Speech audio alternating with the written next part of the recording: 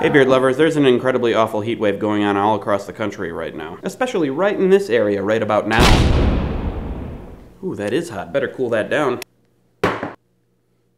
Saves on air conditioning. I'm thinking about making this thing called Explosion Wednesday every Wednesday. What do you think? We'll try it out, see what happens. One thing that's definitely a thing is my new couch. New couch, couching its way into your heart. New couch, buying you was really smart. New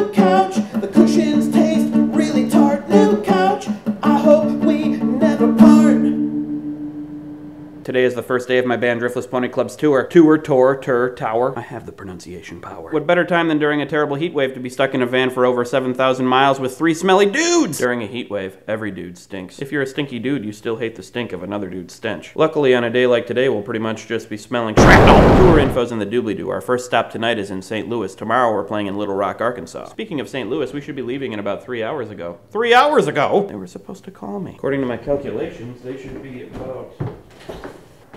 Explosion! Yay! Freedom! Woo! What do we do for fun? I'm gonna sweep the floor over here. I'm gonna jump in the alligator pit. Yay! Seatbelt. Why'd you guys leave without me?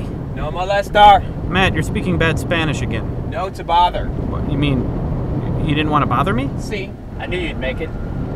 How do you know? You'll find there's a lot you don't know about me.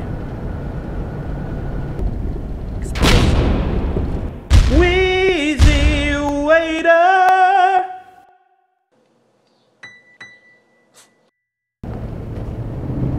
Your shirt fell off. I've Never seen a convertible van before.